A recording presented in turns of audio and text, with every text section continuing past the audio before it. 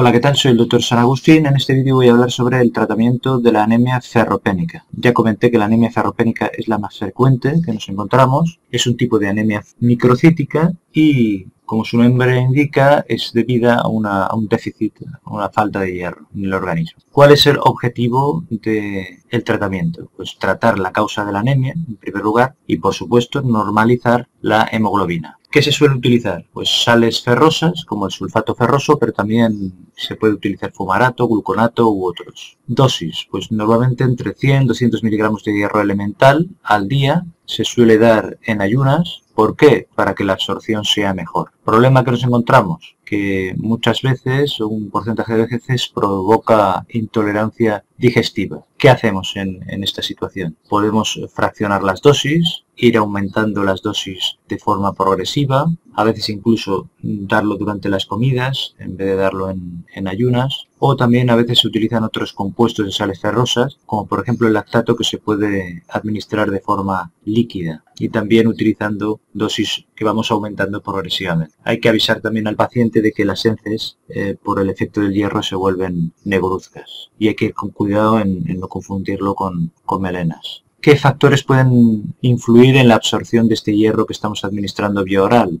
Hay factores que pueden aumentar la absorción, como por ejemplo el consumo de carne, el consumo de vitamina C, y otros productos pueden disminuir esta absorción, como por ejemplo el café, el té, la leche, la yema de huevo, los cereales. Después los fármacos también pueden interactuar y afectar la absorción del hierro. Por ejemplo, disminuyen la absorción toda la serie de fármacos que se dan para la úlcera, como por ejemplo el omeprazol, la ranitidina, los antiácidos, el bicarbonato. También disminuyen la absorción el calcio y hay algunos antibióticos como las quinolonas y las tetraciclinas que también disminuyen la absorción de este hierro que damos vía oral. ¿Qué ocurre tras empezar el tratamiento? Pues cuando hay una respuesta favorable al tratamiento, nos encontramos con un aumento de la cifra de reticulocitos los primeros 7-10 días después y va habiendo un aumento progresivo de las cifras de, hemoglobina. ¿Cuándo hacemos los controles? Normalmente se hace un control inicial al cabo de un mes o mes y medio, se pide un hemograma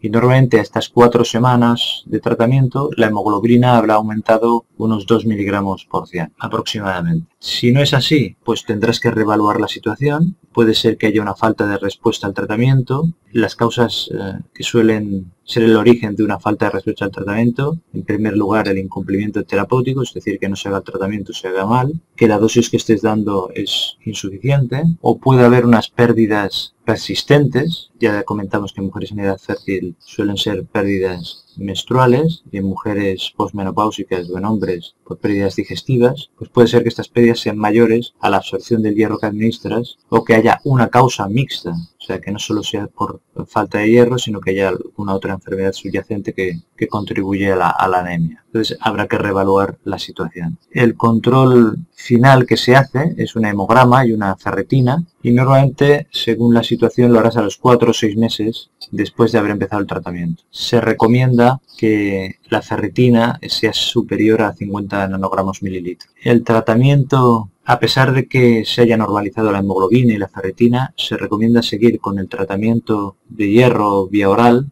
durante 3 a 6 meses después de que se haya normalizado la hemoglobina. También existe el tratamiento parenteral, endovenoso, que se utiliza en el hospital, con hierro. Eh, ¿Cuándo se utiliza? Pues normalmente cuando hay una intolerancia muy fuerte al hierro oral y no hay manera de que lo tomen, o cuando hay una mala absorción que está demostrada que impide que sea eficaz la administración oral. Y también se puede, se realiza la administración parenteral en casos eh, más severos en los que quieres evitar una transfusión y entonces se realiza un aporte rápido por vía parenteral. ¿Existe una prevención? Pues sí puede existir una prevención de la anemia ferropénica.